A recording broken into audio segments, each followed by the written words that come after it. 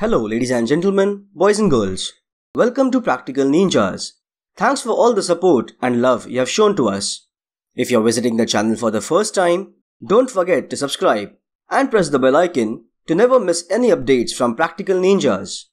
This video is going to be the first one in the series on sensors and transducers. Sensors and transducers are used to sense and measure quantities of interest.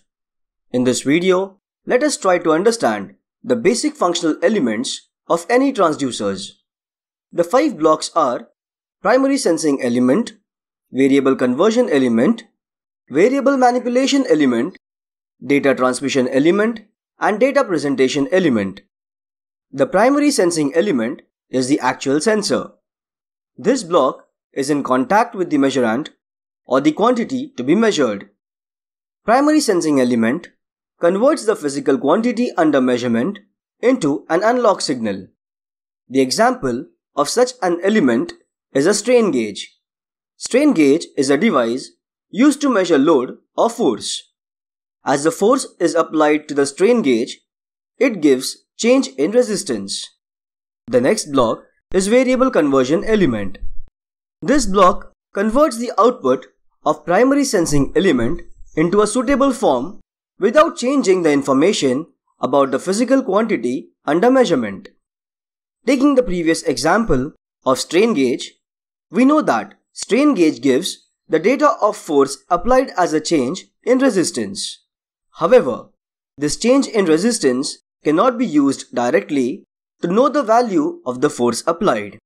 The change in resistance needs to be converted into an electrical quantity to be easily measured.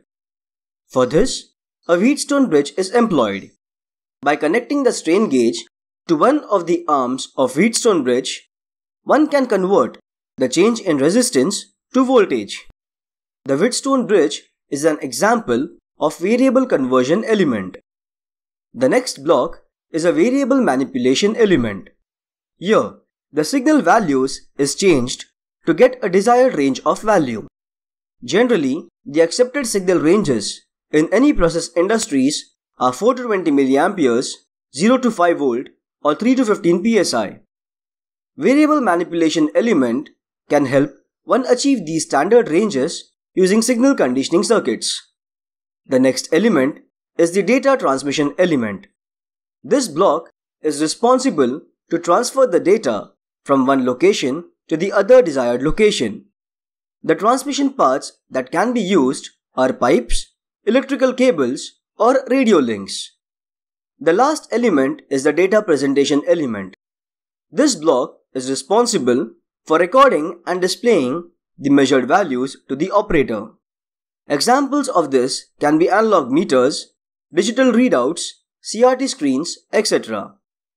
We hope that you have understood the functional elements of the transducers through this video. Hit the like button and share the video with your friends. Follow the channel to stay updated on the next video in this series.